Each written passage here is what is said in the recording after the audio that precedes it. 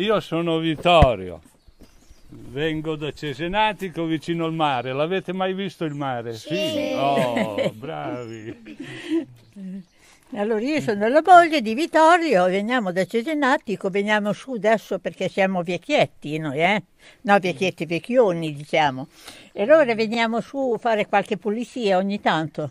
Voi che classe fate? La terza, la quarta? La Loro, allora, noi non abbiamo avuto le scuole che hanno adesso i giovani, voglio dire, è, è tutta un'altra cosa, loro adesso hanno il computer, la televisione, noi siamo vecchi, non, non lo conosciamo perché anche non abbiamo figli. Io ho 80 anni. Lui ha 80 anni, io 78, ormai, e poi eh, quando siamo noi, nati noi, era un'altra epoca. Non c'era tutte queste cose che c'è adesso. C'era questo mulino. Come? Come? Una volta questo mulino esisteva. Ah, una volta funzionava, adesso non funziona più. non fun- Ma quando Ho l'ho preso mio fratello era, era tutto un rotame, diciamo. Dopo l'ha messo a posto, che è un pezzettino. Dopo siamo venuti noi eh, a fare, eh, perché mio marito faceva il muratore. E allora un mio fratello che non c'è, anche lui, eh, abbiamo fatto da muratore. e qui abbiamo lavorato molto. Andiamo Allora, la nostra giornata era così. Io e i miei andavano al mercato. Io ero, eravamo quattro fratelli, una femmina e tre maschi. Io dovevo fare tutte le faccende di casa. A parte che non ho fatto nemmeno la quinta perché dopo mi sono ammalata e loro dopo non sono andate più alla scuola. E dopo eravamo sei in famiglia, io facevo le faccende, facevo la piedina, facevo tutte queste cose qui. Poi mi sono sposato, mio marito, loro avevano la terra e dopo eh, abbiamo lavorato la terra, lui però ha fatto anche il muratore.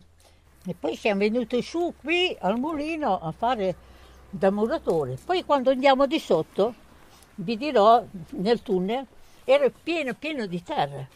Io e mio marito le abbiamo tolte tutte, ma, ma ce della terra, eh?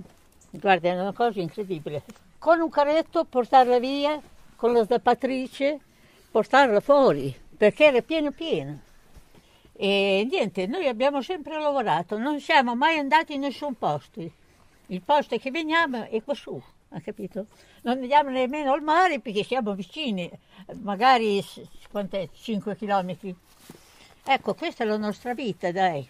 Dimmi. Una volta come facevate a lavare i panni? Ah, panni si lavavano a mano, Eh, non c'era fiume, la lavatrice. Eh? Nel fiume. Nel fiume, in So c'era casa, lavatrice. oppure c'era la pompa, si andava alla pompa. Ricordo che una volta andare a si lavava la mattina, magari quando tutti erano a letto, io mi alzavo, avevamo la stufa, riscaldavo l'acqua per lavare, li lavavo e poi li andavo a asciugare, eh, li andavo a risciacquare dalla pompa, che dovevi fare sempre così con la pompa.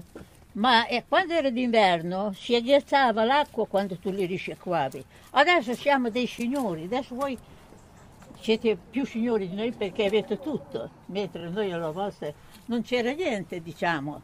Con fronte di adesso non c'era niente, ecco. Io quando andavo a scuola io, prima della guerra e, e subito dopo, la maestra ci picchiava. A mezzogiorno, quando andava- eh, chiudevano la scuola, eh, ci prendeva dietro, era- era- una volta eravamo 20-25 in, in un'aula, la metà li prendeva dietro e ci metteva in ginocchio su per la scala e ci mandava a casa quando ci pareva lei. E io tante volte sono stato in ginocchio su per la scala della maestra. Ah, quando hai detto tu prima a lavare dove si andava? Si andava nel macero che l'acqua era già sporca, tutta sporca. Erano tante le donne. Come hai fatto a passare la guerra? Passare la guerra? Sì, perché Sai io cosa dicevo? Eh, Alla guerra avevo dieci anni. Pensavo questa frase qui, la guerra è tanta brutta che non ne faranno mai più al mondo quando finisce quella. Invece ci, ci sono sempre continuamente. È una cosa che non l'avrei pensata, pensavo così da bambino. Quando finisce nessuno al mondo farà una guerra. Quanti anni ha durato la guerra? A noi il brutto è stato un mese, è stato un mese, un mese e mezzo. E... Ma la guerra è durata tanto, 3-4 anni. In quel mese noi eravamo 19 in famiglia. Una mattina ci siamo alzati, eravamo proprio vicino alla chiesa, al centro lì del mio paese. C'erano quattro mucche morte, mezze morte nella stalla.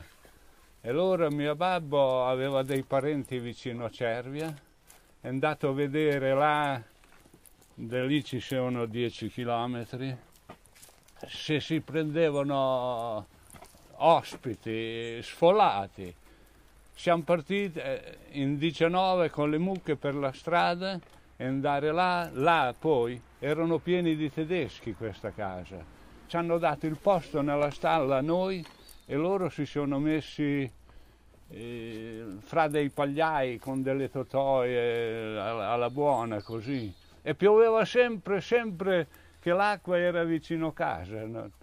era tutta acqua dappertutto. Però là non è venuta nemmeno una granata, una granata. Eh, siamo stati b- bene, diciamo. Ecco. Avevo dieci anni, sono del 34.